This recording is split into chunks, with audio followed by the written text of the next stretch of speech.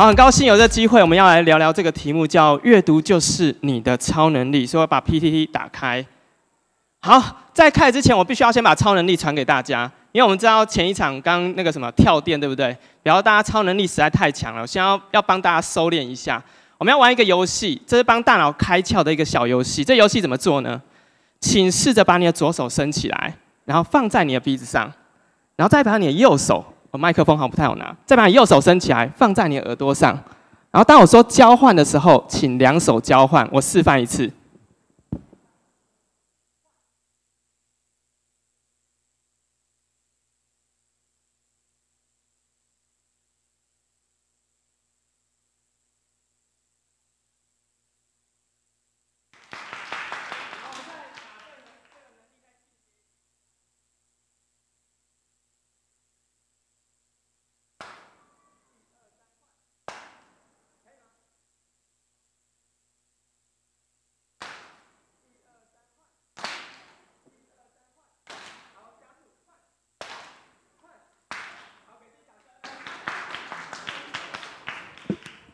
好，这是一个活化左右脑的一个小游戏和活动。我们接下来谈阅读，就是你的超能力，因为想帮大家把这能力能够带回家，然后再加上今天这场演讲算是非常压轴，所以有在现场的人，哎，恭喜你了，因为你今天这个能力非常非常特别，他在外面是要卖钱的，对，所以大家今天还有机会，还可以拿到三本我们要送给大家的好书。好，所以我们有三个数字，待会要来请大家猜猜看，对，猜猜看。第一个数字是一一五，第二个数字是三，第三个数字是六百。在开始前，我邀请大家来猜，我我我会把麦克风拿下去，看谁能够猜对。你觉得一一五是什么？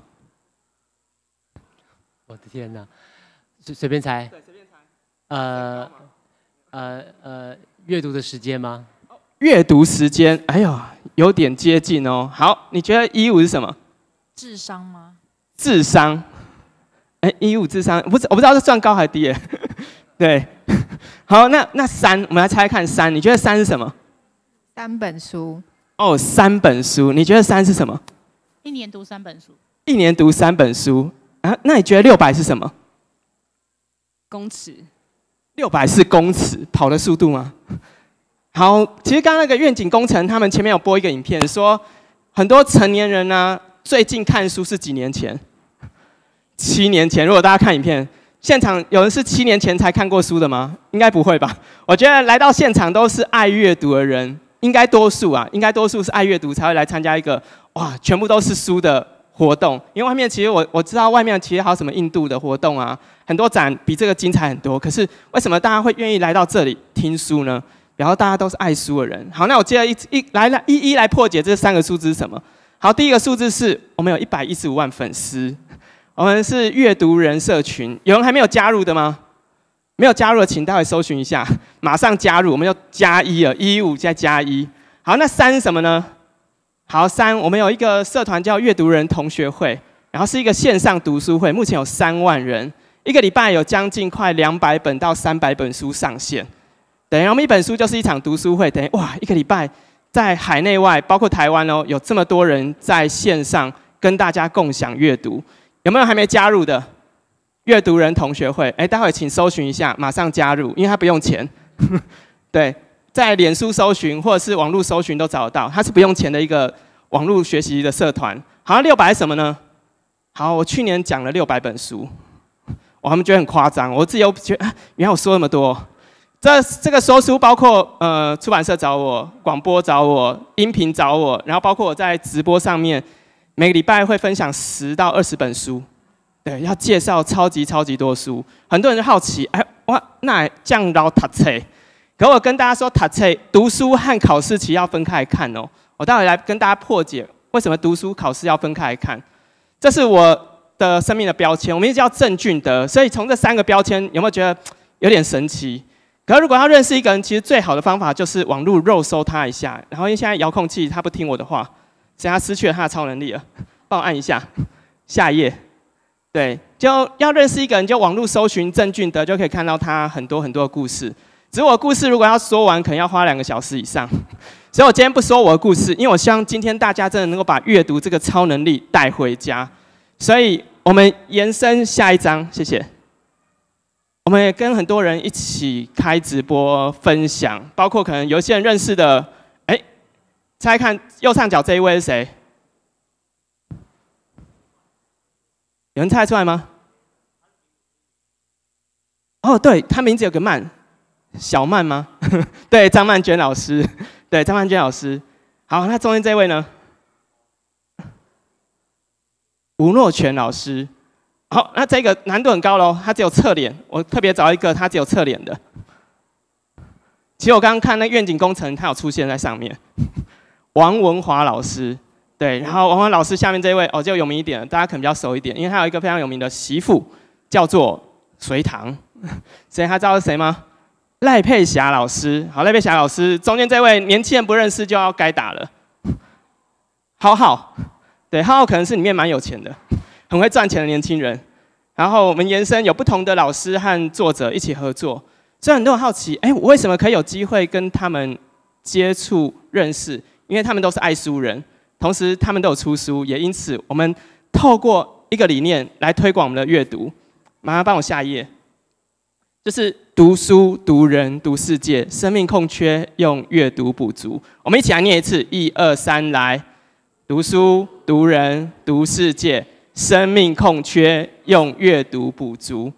有些人可以读书，可是有些人没办法读书，因为他没办法读书，可能没办法专注，或者他没有能力、没有技巧，也包括他可能过去。学校老师添加标签，同学添加标签，哦，就是你很糟糕，你不会念书，所以就觉得很受伤，就讨厌阅读了。好，那没关系，我是说你可以读人。所以如果大家知道，其实很多创业家、很多老板，他可能学历不高，可是他为什么可以成功呢？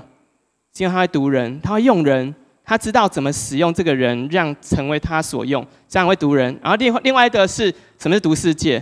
因为我们相信，当你读这么多之后，你没有输出，会内伤。所以必须要练习，把它分享到世界去，影响这世界。所以读书、读人、读世界，生命空缺用阅读补足。好，所以我们要进行待会下下一个活动。好，帮我下一页。人生有哪些难题？在讨论这问题之前，我希望大家今天不是来听我分享，因为我们刚说读书读人嘛，所以你不只要读我，也要读你旁边的。我们先一起起立好不好？全部一起起立，请每个人至少找到一个伴。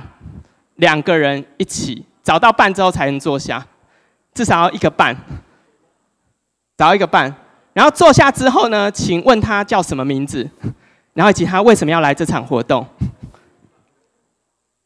好好认识旁边这位朋友。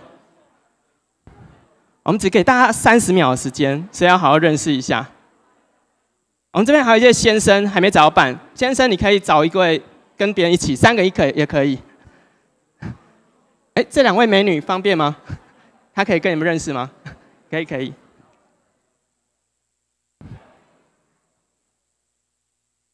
好，那接着下一个你们要讨论问题就是人生有哪些难题？就是你们小组两个人一组或三个人一组的，哎，请好好聊一下，你觉得人生有哪些难题？生命当中有曾经有哪些困难的题目曾经影响过你、困扰过你的？请跟他分享一下，想想看。然后如果不是你的，你听过也可以。我听我朋友说，人生有哪些难题？我们要，我们再给十五秒的时间。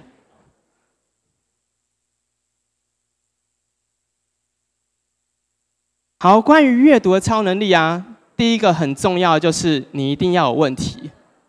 哎，有人觉得很奇怪。我为什么要有问题？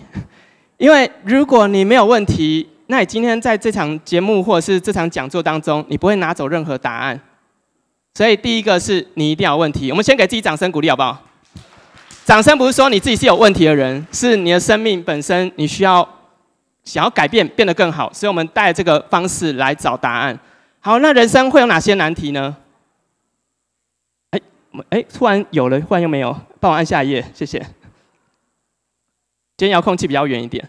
好，人生有很多难题，我只是帮大家简单筛选一下。第一种可能是啊，选择困难啊，每个都很好，或对未来茫然，更不知道下一步该做什么。然后另外一种是哦，我希望能够赚钱，可是怎么努力工作，收入还是二二 k、二六 k，或冲不到三 k 以上，压力很大，然后每个月都是月光，也包括啊，有人希望能够谈恋爱顺利啊，告白顺利啊，甚至希望能够瘦身顺利。然后，当然有人更希望，在医院的人应该最希望能够健康恢复，甚至考试顺利、权力地位、人际关系。这应该多数人都有这些盼望，也每年的新年新希望都可能用这几个方向去撰写。有人的问题没有在上面的吗？哦，可能如果没有的话，没关系，放在心里面。我们今天会试着给大家这些方向的答案，所以有没有赚到了？对，赚到了。有的话，先给自己掌声好不好？因为今天不止听我说，你还要认识旁边的朋友。好，那当难题出现之后，你会怎么做呢？当难题出现之后，你会怎么做呢？我接着要选择题了。这遥控器可能帮我按下一页，谢谢。好，觉得会使用 A 网络搜寻的，例如我想要呃怎么理财，你会用网络搜寻的。你遇到难题会先网络搜寻的。哦，还蛮多朋友的，应该是多数人都会使用。好，会选 B 的，可以复选，可以复选。会选 B 的，哎，我问问朋友的。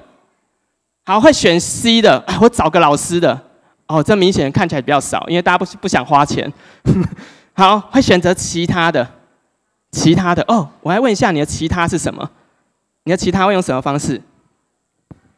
哦，呃，简单说，要先看那个问题，我自己对他理解有多少，是否是一个全然陌生的东西？如果陌生到连我该怎么去接近他都还有困难的话，那我就会尽量的每个方法都先丢出去看，我可以怎么样比较快有效的去了解我不了解它的之处，我要从何开始是比较有效率的，我比较有效率一点，先认识它是什么，我可以从哪里开始？对，好，给他掌声鼓励一下。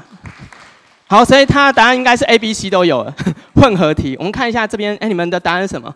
你们其他什么？有点像算命吧。哦，还蛮好的哎，算命。这从有一些行业从古代到现在都存在，表示它是有用的哦。所以为什么会有什么国师嘛？如果大家知道的话，对，就也因此算命也是一个答案哦。哦，不知道答案，那拨拨一下，抽个签，祷告一下。我不能说没有，不是不好，这其实也有科学根据，因为至少心安，至少心安。好，那我们接下来介绍，因为我们今天谈阅读嘛，所以为什么没有人想到阅读呢？有人想要用阅读解答的，有吗？哦，还是有啊？没有的，为什么呢？没关系，我们待会来看一下。第一，哎，我哎，好像跳太快了。下一页，谢谢。好，为什么看书可以解决困难？我相信多数人在遇到人生问题的时候，看书应该是摆在很后面的部分。可是为什么我看书的时候会放在我人生很前面的部分？是因为我十八岁的时候生一场病。哦，那场病决定了让我觉得哇，原来人生命好像很短暂。那场病的名字叫自发性气胸，有听过吗？有人听过吗？哦，没有。好，简单举讲一下这病叫什么？这病叫我肺泡会破掉，破掉之后空气进去。它不会从我鼻孔出来，它会从破掉的地方出去，所以会压缩我的肺脏，最后我会吸不到空气，因为压缩肺脏横膈膜，空气都在里面出不来，所以就会休克、窒息、死亡。好，所以那一年生了场病，医生说你这病有五十帕的机会会再复发，如果复发的话破的比较大，哎，那可能半小时就要急救，因为一般人没办法憋气憋太久。所以在我十八岁那年开始思考人为什么要活着。好，所以一个十八岁孩子，人为什么要活着？可以问谁？问同学。哎，同学，同学，那个人为什么要活着？那同学会想说啊，你三八的，还有你很奇怪，怎么问这种问题？啊，你问老师，老师会怎么问你？回答你？你可能要心灵辅导一下。他想说你是不是想不开？人为什么要活着？好，所以我可以问谁呢？我去问书。后来我理解到，原来很多大师。很多从古代到现代人，他们的持续都在问这个问题：人为什么要活着？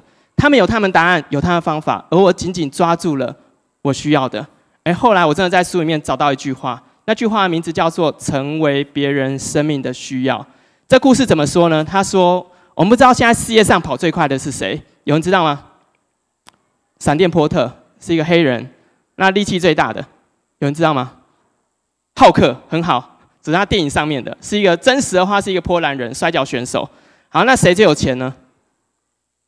巴菲特、比尔盖茨还是贝佐兹啊？不过贝佐兹最近离婚了，可能财产要分一半出去。所以我们好像不太清楚这些世界上的第一名，好像不太清楚是谁？为什么呢？因为这些第一名，他拿到荣耀桂冠第一名，跟我们有关系吗？没有关系。可是你会记住谁？你会记住谁曾经在你软弱的时候帮助过你，在需要的时候拉你一把，在流眼泪的时候递上一张卫生纸给你。即使那张卫生纸他用过，你也会记住。所以那那一篇文章的最后一句话是：成为别人生命的需要，就活在世界上很大的价值和意义。所以仅因为这句话紧紧的扣着我的心，所以也包括我，包括我现在的创业、推广阅读，听起来就是很难活下去的工作。没想到我竟然活了十二年，创业十二年之久。对，所以生命当中有很多你想象不到答案，都在书里面都有着。好，往下一页走。好，可是为什么遇到难题，很多人不看书呢？为什么遇到难题，很多人不看书呢？我们这问题，请问一下你旁边那位伙伴，问他说：“哎，为什么很多人遇到困难不看书？可能是什么原因？”问他一下。我们有十五秒的时间。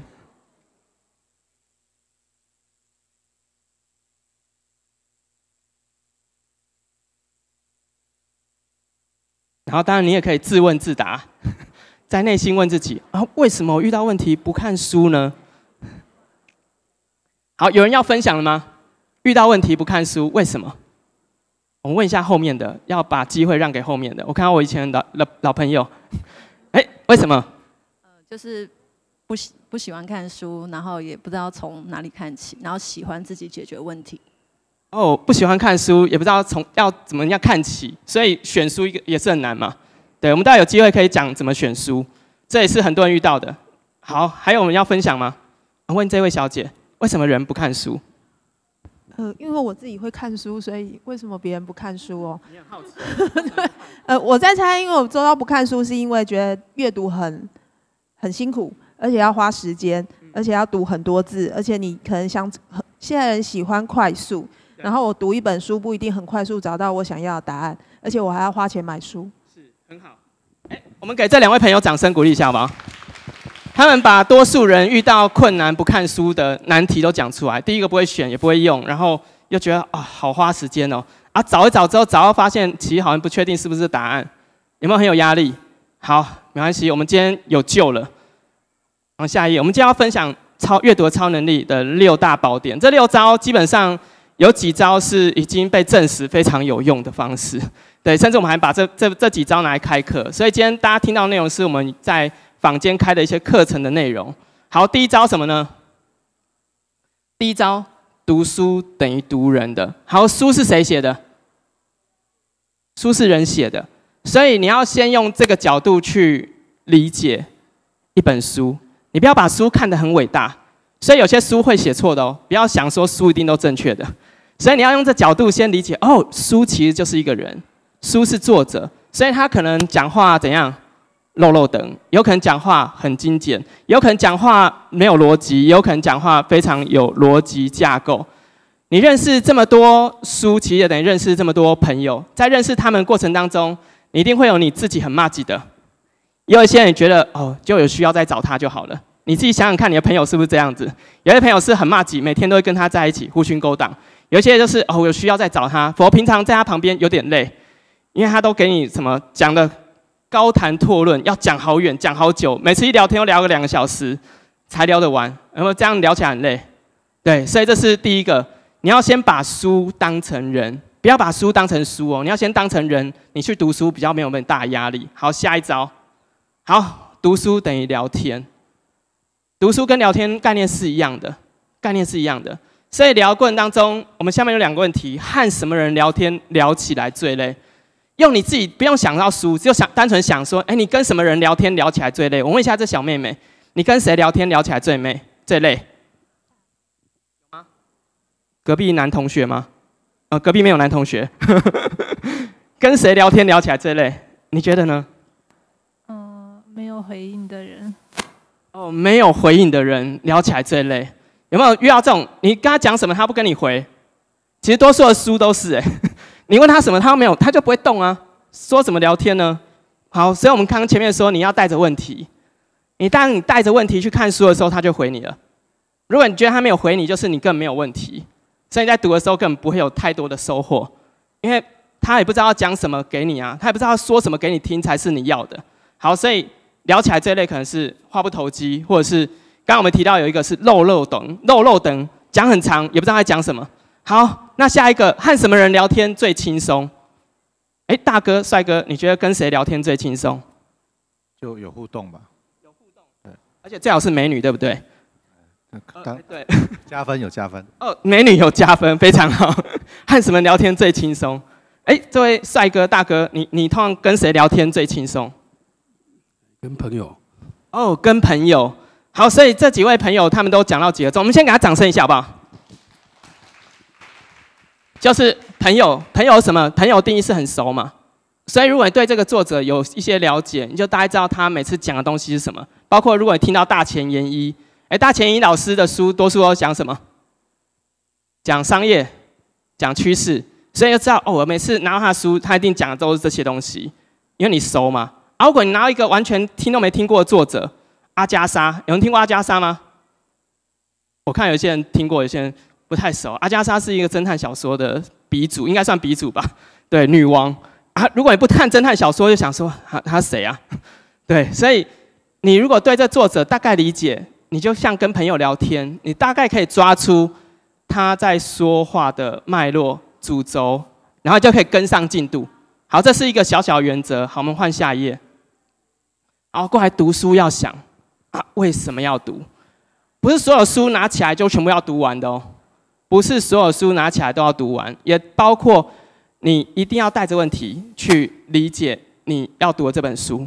那有没有什么时候不用带问题？有，就是你根本想要放松的时候，这时候不要带问题，因为带着问题看所有书都太累了。如果你单纯是想想啊放松，所以我放松，你就好好的读吧。可如果遇到考试的时候，哎，那你的读法又不一样了。我们待会下一页会跟大家讲，那如果要预备考试的，那该怎么预备考试？然后当然有人希望是改变我的人生。我现在遇到困难问题，例如我要告白，不知道怎么告白；我要求财富，我不知道怎么求财富。啊，我希望能够升官发财，不知道怎么升官发财。好，我们今天是来讲庙的。对，可阅读都有这些答案哦。好，我们换下一页。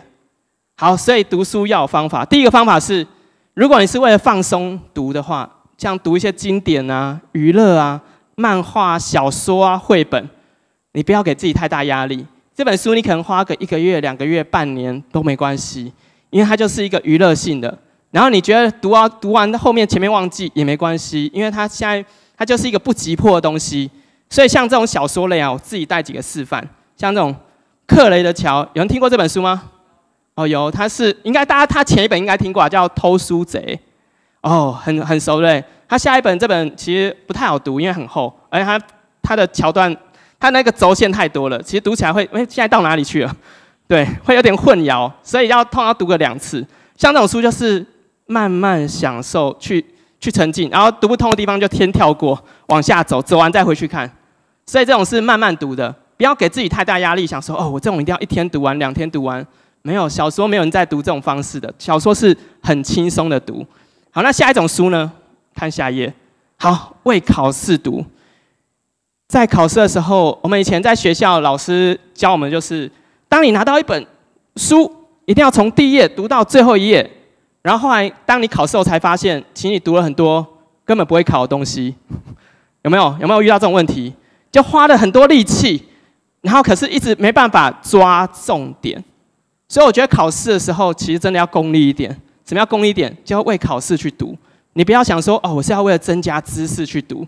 增加知识这件事，情在看课外书的时候增加，不要在考试的时候增加，因为。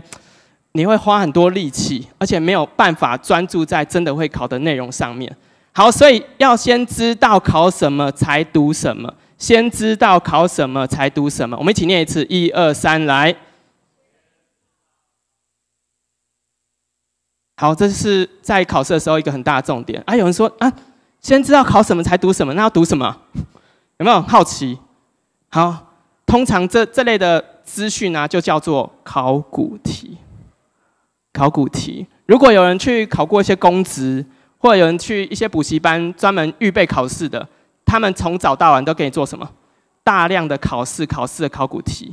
他为什么要训练你考古？去不是不是要训练你去挖掘考古的东西哦，是要把你的大脑培养成有考匠的能力。考匠就是看到答看到题目，马上可以抓到一些原理原则，甚至知道范围。好，所以如果你的时间不多，你只剩一年就要准备一个大考，我就鼓励你就好好预备考古题，用考古题去挖答案，用考古题挖答案，然后挖出一些范畴之后，再回到参考书、一般书去把那些内容抓出来。因为你这样比较能够很精准的切入到你需要读的内容，不会花太多无谓的力气。好，那下一种，为问题读，为解决人生问题，带着问题找答案，然后把书当字典。所以像这类的工具书啊，像这本书叫《寻找创意甜蜜点》。好，听到书名，觉得他在讲什么？寻找创意甜蜜点，有“创意”两个字嘛？就教你如何找创意。所以，如果我带着问题，我想说，哎，创意甜蜜点，那什么是创意甜蜜点？如果问这个问题，我要从头读到尾吗？不用，我先从目录去读，他一定会有一个章节专门讲这一个，我就直接从那个马上 catch 到，抓到我需要的创意甜蜜点的关键是什么，然后延伸，因为这本书的脉络框架很清楚，因为它就只有四招，所以就好好把这四招看完，好，我就会了，所以。带着问题去读这种工具型的书，用把它当字典来读，才是现在人需要的阅读技巧。很多人拿到书很有压力，是因为他更不会读。然后一本书想说要花好久才把它读完，没有，其实书不是这样读的，书是拿来用的，书绝对不是拿来读的。有没有觉得跟过去老师教不一样？书是拿来用的。我们重复说一次，一二三，来。对，书是拿来用的。当书是拿来用的，你才会有动力去看它。然后你才会觉得你买的值得，因为一本书里面即使有一句话帮助到你，虽然好像花了两三百块，可一句话改变人生，便不便宜？超级便宜！如果一句话、一个方法、一个工具改变你人生，我告诉哎，所以你要用用的思维去看书，看一般大众需要的书，哎，这时候你就可以得到你需要答案。我自己透过这个方式，哎，我获得很大的价值。包括刚提到说，哎，有人想说，如果其实我一想说，应该今天不要设什么阅读就是你的超能力，应该说阅读帮你发大财。今天可能是两三百人的大会场，对。可是阅读能不能发大财呢？其实可以哦。我认识一个朋友，每年光靠阅读可以赚两亿人民币，跨跨册聊看书就可以创造两亿人民币。然后我每个月，像我一年看六百本书，这些书可以帮我赚钱吗？其实可以哦。对我应该现在一一个月收入是一般上班族薪水十几二十倍，所以看书能不能创造收入？可以，就只是找出对的方法，用里面的方式去支持别人。这当你跟别人能够交换价值，其实就是一种钱的来源的。所以知识能不能变钱？可以，知识可以变钱。而方法就是你要把书当字典，把书当字典。好，我们下一个。然后下一个很重要的是。啊，如果我不知道哪些书是需要的，那要去哪里呢？有一个社团叫阅读人同学会。我现在很大量时间会去企业讲课、合作、策展、演讲。好，然后我把很多我认识的老板、总经理、主管全部拉到这社团，所以里面有不不同的人脉在里面，也包括有很多很厉害的说书人、写故事的人、看书的人，里面就是。刚刚有人说军师全部在里面了，所以里面可以找到你需要的人生答案，包括你有个提问任何问题，就说：哎，我最近我的家人有点忧郁，哇，这么忧郁，然后我不知道你有哪些书或者有哪句话可以帮助他，你就问在下里面留言，马上就有上百人给你答案，然后也可以收集到超多书，变成你下一个压力啊，这么多书哦，对。所以这个社团鼓励大家可以免费加入搜寻，对。可加入，因为我们在要审查，所以只要先打勾就可以了。我们到时候会帮你开通，免费的。然后，当然我们还有一个分享课，叫做六第六第六下一个，叫高效阅读。网络上其实搜寻有很多人分享很多阅读技巧，可以操作。可是如果你操作过程当中发现，哎，我不知道怎么做，哎，没关系，我们一门课其实就在讲如何把知识落地。用在生活当中，然后不止在台湾，我们现在已经开到中国去了，持续在推广的一个阅读教育课程。好，我们换下一页。好，所以有一句话说，读书等于读人。你是我朋友，但我们各拿一颗苹果交换，我们还是几粒苹苹果捧够。可是如果我们交换思想，我们就拥有了两个思想。其实这个阅读的最大价值。很多人说人一生只有八十岁，可是其实人如何活到八百岁呢？你就多读一点别人的自传，把别人的人生经历放到自己的内心里面，你完全不用经历那些挫折、失败，或者是那些难堪，你就可以拥有同样的经验值，同样经验值。所以这就是读书的价值，知识的价值。所以如果当你理解这个方式之后，下一页，阅读就会成为你的超能力。再次给自己掌声一下，好不好？谢谢。好，我们时间抓得很准，因为我想说留十分钟给大家 Q&A 一下。好，有没有人要问问题？我们有三个三本书要送给大家，对，市价几百块，而且买不到。有问题吗？任何问题都可以。你平常就是看一本书，你是怎么做笔记的？或是你要怎么整理成一个脉络，再去传授给别人？好，书要怎么做笔记？其实我现在做笔记啊，我因为我现在时间时间没有那么多，所以我的做笔记方式是直接说出来，我就开直播。对，直播就是当我输出，其实就是做笔记的方式。我把它记起来，能够通常能你能够讲出来，表示你对这个书的关键或它脉络已经抓到了。我只要抓到这样就好了。好，那哪些书会做笔记呢？就这本书可以帮让我变钱的，就是功利一点，这本书它可以帮让我变成钱的，包括它我要去企业讲书。去切讲课，这本书我一定要用到，我就把它整理成笔记，然后用心智图来做。对，因为心智图它可以帮助我记忆，然后就可以画很大张的图，我之后就可以靠那张图去回忆它，甚至做简报，非常快。所以这是我做笔记方式。我们那个刚刚有一个社团叫阅读人同学会，里面有各种各式样的人，很会做不同的笔记，包括现在有一个叫就是快，然后包括有九宫格曼陀罗笔记法，也包括过去有些人传统的超名言佳句型的笔记。各种笔记都好，可是我更鼓励你思考的是：我做完这些笔记之后，对我人生有什么帮助？我做完那么多之后，它对我生活有什么改变？我写了这么多之后，我能够拿它跟别人分享，去支持别人，或它可以帮我创造收益吗？对，因为人的时间真的二十四小时非常有限，所以你需要去思考你你所做的任何事情，它所要付上的代价和价值。对，这是跟你的回馈，有答有答有得到吗？好，谢谢，给他掌声鼓励一下，谢谢。好，还有同学要问问题吗？哦，越来越多了。我想请问你一天看几本书？然后呢，你怎么决定你要看哪一本书？这答案非常好。我现在因为我工作需要啊，所以呃，我每个月会从出版社那边收到五十到一百本书。对，从中国那边会寄书给我，台湾也会寄书给我，然后他们希望我去说，因为我们我们说书免费的哦，所以出版社会很开心，会啊，有人帮我推荐呢，好，然后赶快寄来，所以我们是用这种方式合作。我们我现在平均呃看时间，像这本书吧，《克雷的桥》，我现在读完三分之一，是刚搭捷运的时候读的，好难读哦，我觉得至少要花半天，对，花半天。然后像这种。寻找创意甜蜜点，因为它里面的理论和方法，其实在很多书都看得到，所以可能二十分钟到半小时内应该可以看得完。对，所以每个书都有一些技巧。啊，有些人说看书怎么让它可以变快呢？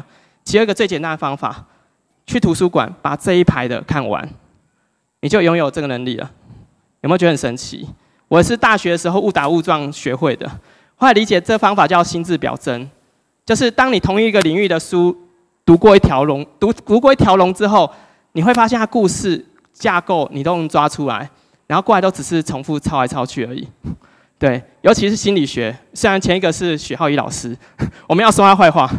对，心理学研究啊，有期刊论证的，其实不到一百年。如果大家有知道的话，有真的有做实验，有期刊整理出来，不到一百年。所以你看了差不多十到二十本之后，会发现故事在重复了，理论在重复了，方法论在重复了。过来只是延伸里面的案例不同而已，所以当你读到一定的量之后，阅读速度一定会变快。这这个只能下苦功，这没有其他方法。好，给他掌声鼓励一下，谢谢。好，我们还有最后一位。哎，我们一二三来，我们看看太多朋友。一二三，好，黄色衣服。你要分享什么？我这边这边想想想问问说，老师，您除了看在看书之外，那就是说吧，像书的那个什么，像杂志或者说商业周刊这些书，或者报纸，也也是有每天看吗？啊，也会看，因为他们会送我。是哦，对，他们会寄给我，所以我就会看。可是看的过程就是会挑我要看的，因为我呃里面还蛮多广告，所以应该不会把所有广广告看完吧？所以就会翻自己要看的，很快翻读。然后我自己也很还喜欢还喜欢看漫画。有人跟我说：“哎，那你只有看书，没有其他休闲吗？这样不会有很有压力？”对我还有一个习惯就是看漫画，我觉得漫画是一种放松方法。嗯，我很喜欢只有图，不要有太多压力的方式，所以我很大量吸收大量漫画。那小说嘞？小说小说就会挑，等于小说要要很多情境，人要整个进去，很累。小说是看所有书里面最累的。是。对，像我最近才看完《麒麟王》《奇魂》，哎，我好像我们小时候的东西我没有看过，哎，我好觉得经纪人会把它看完。对，好，我们给他掌声鼓励一下。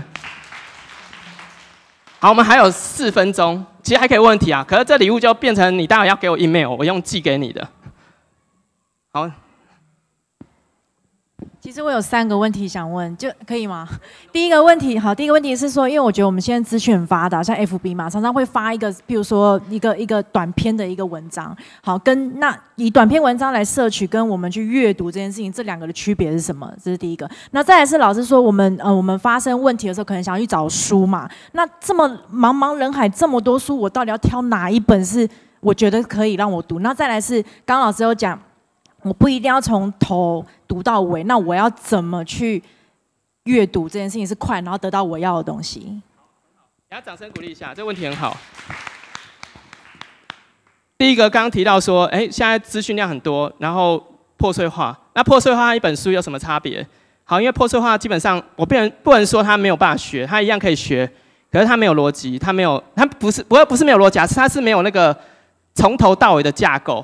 所以你只能抓到一个很片段的一个资讯，可是它还是可以对你的学习上有帮助哦。所以不是说读网络文章不好，只是在你抓 catch 这个资讯的量过程当中，你要一定要很大量的同整、同领域的破碎化资讯累积，你才有帮助。否则它还是破碎的，它还是破碎的。所以一般书它其实有一个脉络，同时你要找答案也是有一个理论的根据，有理论根据。因为网络如果大家知道，其实上面很多资讯是假的或错的。然后刚刚第二个问题是刚刚提到说什么？该怎么看书嘛？就哦，这么多书。好，第二个问题，这么多书该怎么选？有一个简单技巧，可是通常这种技巧要等二到三个月以后。书的，我直接讲其中一招啊，因为这个选书有很多招。书的最后一页或最前面一页会有一个版权页，然后它会有写几刷。好，只要一本书超过四五刷以上，应该都不是地雷了。对，四五刷表示已经快可能五六千到一万人买过这本书。如果是地雷书，那前面应该就骂翻了，就不会再卖了，也不会再刷。所以通常三四个月、五六个月以后的那本书有再刷的迹象，那它通常安全性很高。然后如果这本书它好像每几年都会改版，像什么《与成功有约》，我现在应该有加有四个版本还是六个版本，它的版本在换，表示这本好不好卖？好卖，出版社觉得好卖，所以这本书就是属于经典型的。出版社觉得它不会不会倒不会赔的书，它就会卖。好，所以这是一种很简单选书技巧。我从版权来选，然后刚才提到说，那拿到书之后，我们带着问题读，怎么样很快的抓到重点？其实有几个方式啊。第一个封面目录序，封面很多人只是看完书名就进去了，没有，这很浪费。因为现在出版社很用心，把所有重点都放在外面了。所以封面把它看完，然后序还有目录，然后有一种有一种序叫导论。有没有听过？有没有看过？好，什么书会出现导论？然后大陆的书没有大部头。好，大部头就是那本书通常很难，你随便跳进去会看不太懂，所以会有导论，通常都是比较有点硬的书。那种导论一定要看，你不要想说我不不看别人导论，我直接看，那你会很很有很多挫折感。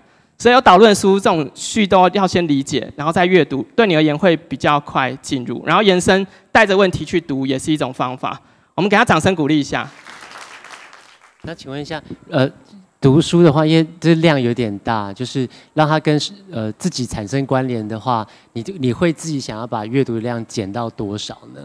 就是通常与其去记书背东西，呃，我自己的方式是，于无形中变成我的习惯，我再也不用再也不用记了，我说服了我自己了。所以如果是你自己的话，你会希望自己阅读的量能够变成你的生命的一部分的话，你会有什么建议呢？其实我每年说这么多书啊，快六百本书，可是说真的，能够变成我直接工作执行或影响很大，其实差不多只有二十本。这么大量只有二十本哦，好，为什么只有那么少？因为其实如果大家知道，台湾一年出版量是四万本，四万本哎，我们一辈子都读不完四万本，而我一年只收到五六百本，其实还是不够不够看。等有这么大量资讯，我们可以去拿到获取，然后可是真的能够去对你的生活产生影响，其实只有一少部分。所以我会延伸几个面向，第一个是这本书对你现在的工作有没有影响的？如果有影响，那种书就是值得你好好读一读。因为它可以马上体现出你的成就或收入，马上看得到的，看看得到变化。然后第二个是它跟你的人际关系能不能产生连接？因为人和人之间的关系，如果因着一本书有一个话题，有一个可以敞开谈论的东西，其实也会让你有成就感。我现在都先从成就感开始哦，然后延伸，最后才是自己跟自己的关系，自己跟自己的关系。就我如何让我自己的心灵可以沉淀，可以好好反思我这一生，哎，还可以还可以做些什么。就好好探求自己的人生啊！所以这是几个我在看书后面读那么多，其实都是为了帮我筛选哪些是我要好好读的。对，所以这也是一种我自己选书的方法。每个人有自己的方法，我鼓励大家可以去探索探求，因为最后这个阅读才会成为你的超能力。好，我们再次给这先生还有其他自己掌声鼓励一下，谢谢。